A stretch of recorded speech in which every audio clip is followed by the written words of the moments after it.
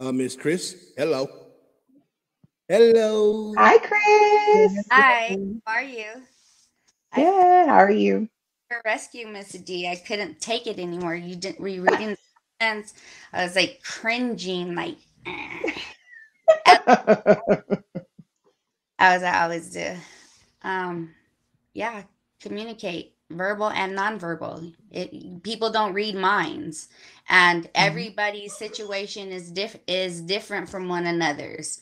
Whether you're white, black, brown, green, if you guys don't know how to communicate or you didn't have somebody modeling communication, you don't know how to do that.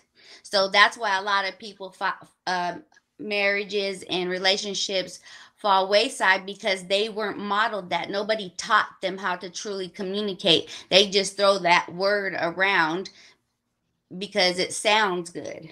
But when it Mhm. comes down to it, they don't know what they're doing. They're too scared to say how they really feel.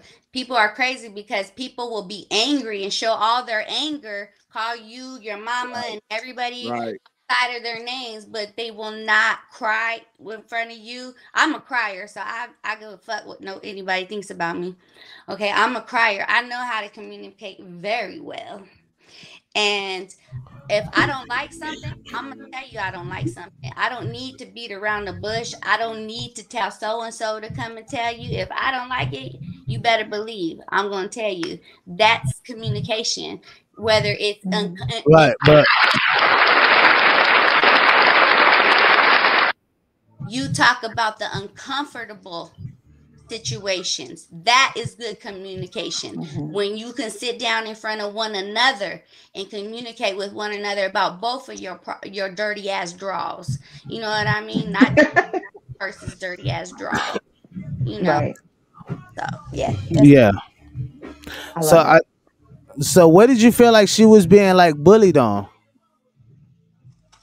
Well, Biz, you know you're a male chauvinist, so I'm not a male chauvinist. yes, say it like it is. Don't beat around the bush. First, first, Why do you think first I'm a male chauvinist? Look, Not- all um, I want, because- all I look, all I want you is say She said calls you on your bullshit. Do you on know your what No. note. transparent is? Transparent is to Let's see through. out the bullshit. You need to see through, and you're you lay with your wife. I'm showing you you transparency. I'm put your letting male part inside of her. If you don't can't mean be I'm, like, telling- transparent and communicate, you with the wrong woman, baby. With the wrong woman, or she Hey, check this man. out. Check this out. Check this out. Because she wouldn't be like uh so opinionated, she would have a chance to like hear me out. You know what I mean? And those are the things when we talk about uh, the whole communication thing. Sometimes men, Okay. sometimes men feel challenged when a woman is asking. It's not challenge, it's masculinity. Is you showing me like you want to that's be big your as me. perception. That's not That's my not. perception. My profes- perception is you're feeling challenged, That is not but intimidated because I'm questioning. no, you. You I want to know, but if you want to know, don't shouldn't you answer ask questions? So why? Okay, can I ask you a question? Why? Why when women feels like a man is challenging the whole standard? Like if I say I don't want a woman a certain size or I want a woman a certain way, No, I'm you have consi- standards of and course, you have damn. boundaries. I no, don't want but no broke ass man. You know what I'm saying? So I get it. If you want a girl with a nice ass or a flat ass, that's up to you. That's what you think looks good. I don't care what you want. You know what I mean? I want I want for you what makes you happy. Whatever happened to all those uh I was trying Cinderella stories and those Disney movies in reverse? Everybody was always looking for Prince Charming and all shit. Not, nothing to say about myself or anything, but like I don't hear of any stories of women coming to find uh, a diamond in the rough. I mean, I guess I guess the only one you can actually say is. Aladdin. Is Aladdin. You know what I mean? I had too many frogs, honey. If if I'm gonna find a diamond, no, no, we're not talking about frogs. We ain't talking about frogs. We we just talking about motherfuckers that's been a dealt a bad hand. And you can see all that. us has. Who has I'm not talking about everybody though. I'm not talking about. I'm talking about the people that.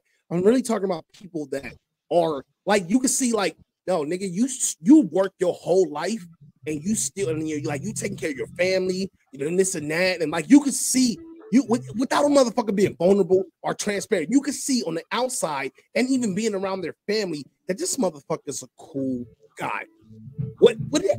Why people don't take chances on, or women don't take chances on those type of men? They out there. No, because he ain't communicating with her. Like, hey, baby, can I get your number? Because she's not watching. See, that's the thing. Okay, look, look, look, look, look, look, look. Look, let's just go. Let's just wait, wait, wait, wait, wait. Fuck that. Look, look, look. Check this out. Something? Y'all sure No, know how to ask. I'm gonna put your mic on mute. Shit. Check this out. Look, look. Check this out. See, this is why. This is why. This is why most women will probably buy a dog and die alone because they like they want what the I'm dude to about? The communicate a lot. It's like